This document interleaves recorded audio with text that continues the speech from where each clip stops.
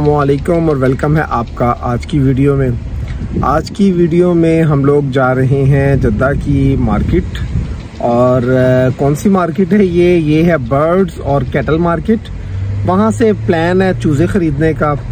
देखिए, वहाँ जाके क्या सिचुएशन होती है, कौन सा चूज़ा हमें पसंद आता है और क्या हम लेते भी हैं कि नहीं लेते तो आए हमारे साथ आपको दिखाते हैं।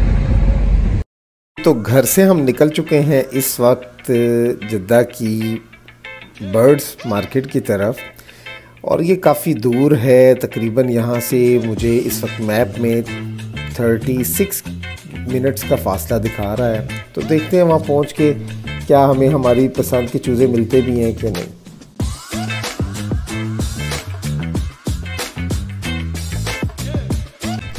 जी तो after a quite long drive हम बिलाखिर पहुँच गए हैं कैटल मार्केट में और यहाँ पर हमें तरह तरह के जो हैं वो बकरे, भेड़ और इस तरह की चीज़ें नज़र आ रही हैं।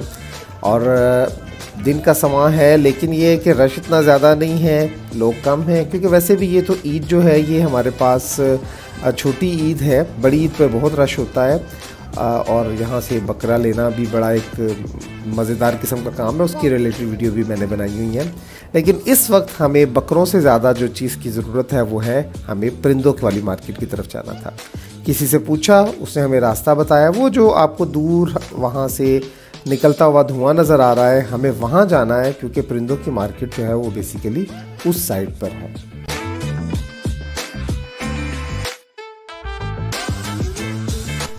जी तो हमारा रुख है अब उस कॉर्नर पर जहाँ पर जो है वो परिंदे और इस तरह की चीज़ें जो है मौजूद हैं। रास्ते में हमें ऊँट नज़र आए हैं, साथ में बैल नज़र आए हैं और मार्केट काफ़ी साफ़ सुथरी है, बेहतर है। तो अब ये हमारी, ये मैंने आपको बताया था ना कि ये देखें वो बिल्कुल जो धुआँ निकल रहा है उस चिमनी में से, उसके करीब ही है ये मार्केट। तो अब हम पहुँच गए हैं वहाँ पर। जी तो मार्केट को इतनी फैंसी नहीं है क्योंकि ये मार्केट जो है वो बेसिकली जनूब वाले एरिया में थी और काफ़ी दूर है। इससे बहुत बेहतर मार्केट्स जो हैं वो जद्दा में मौजूद हैं बट एक तो ये है कि हमें जस्ट छोटे चूज़े चाहिए थे जो कि वहाँ पर अवेलेबल नहीं है।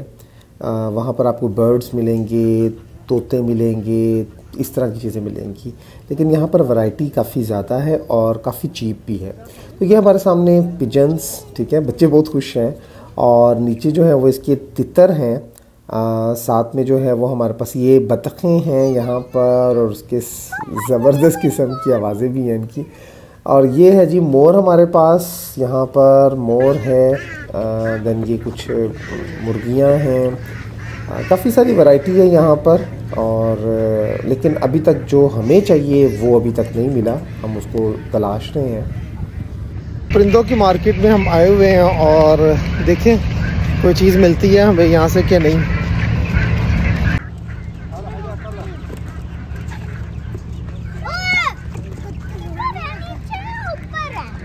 बड़े बहुत बड़े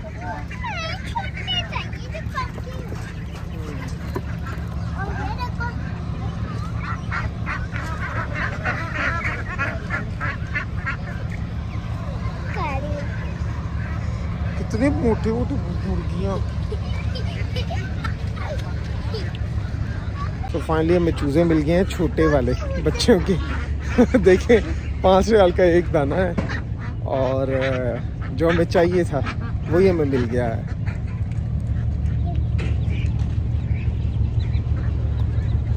छोटे चूज़े तो तीन चूज़े हमें मिले हैं वो हमने ले लिए हैं मार्केट बहुत प्यारी है, साफ़ सुथरी सी मार्केट है और परिंदे बेतहाशा हैं, बहुत ज़बरदस्त हैं। ये देखिए ना आप। बतख है यहाँ पर, बाकी सारी चीज़ें हैं।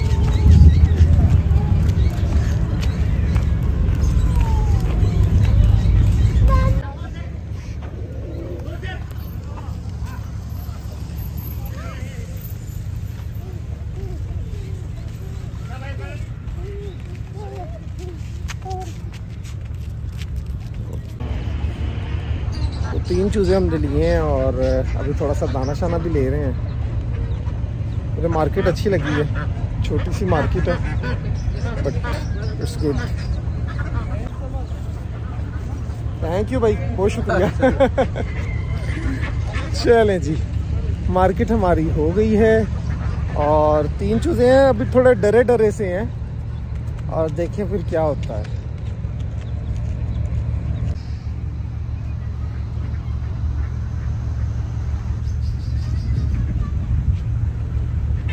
जी तो वापसी का सफ़र जो है वो शुरू हो गया है। हमें हमारी जो चीज़ रिक्वायर्ड थी वो मिल गई।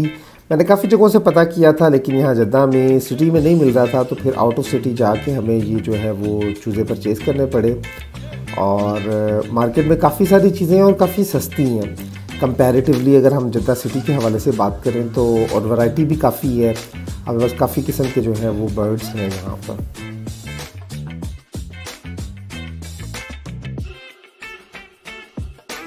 जी तो हर साल बड़ी ईद पर हम लोग यहाँ पर आते हैं अपने बकरे वगैरह ख़रीदने के लिए। और ये बंदा बार बार बुला रहा है और कह रहा है कि स्वाकनी भी मौजूद है, हरी भी मौजूद है। यहाँ की डिफरेंट जो वैरायटी है गोट्स की या दूसरी तो उसके लिए जो है वो हमें बुला रहा है। तो ये मवाशी मार्केट काफ़ी अच्छी मार्केट है। मुझे सबसे मज़ेदार चीज़ ये लगती है कि यहाँ पर जो जानवर हैं, उनको किसी किस्म की रस्सी नहीं बांधी जाती और टैग्स लगे होते हैं क्योंकि वैक्सीनेशन वगैरह सारी कंप्लीट है और वो अपने अपने डरबे में ही, अपने अपनी जगह पे ही रहते हैं और आगे से सारा खुला है। किसी किस्म का जो है ना, वो ये नहीं है कि उनको जो है वो कैद किया गया है या बंद किया गया है। ये बड़ी ज़बरदस्त चीज़ है। और ये साथ में बहुत सारे गोदाम हैं, जहाँ पर जब उनका मुख्तु किस्म का चारा जो होता है, या वो आप देख सकते हैं आपके सामने जो है वो घास वगैरह और इस किस्म की चीज़ें जो हैं वो यानी जितना भी एनिमल्स की फ़ूड है, वो यहाँ पर मौजूद होती है और ट्रकों से लाद कर यहाँ पर लेके आई जाती है। बहुत बड़ी मार्केट है यहाँ पर और ख़ास तौर पर जब हम बात करते हैं बड़ी ईद के दौरान तो यहाँ पर तो आपको मतलब आना और यहाँ पर आके ख़रीदारी करना भी एक बहुत बड़ा अमल है। और हम लोग काफ़ी सारे लोग इकट्ठे होकर आते हैं ताकि यहाँ पर ख़रीदारी कर सकें और बहुत इन्जॉय करते हैं उस सारे प्रोसेस को। जी तो ये हमें ऊँट नज़र आए हैं और उसके साथ कुछ बैल वगैरह और इस तरह की चीज़ें। मार्केट जो है वो उसमें तकरीबन हर तरह का एनिमल आपको मिलेगा और ज़बरदस्त किस्म का माहौल है। रमज़ान में ये इसकी टाइमिंग जो है वो दो बजे रात तक खुली होती है और मतलब वैसे गर्मी, सुबह के टाइम जो है वो बंद होती है।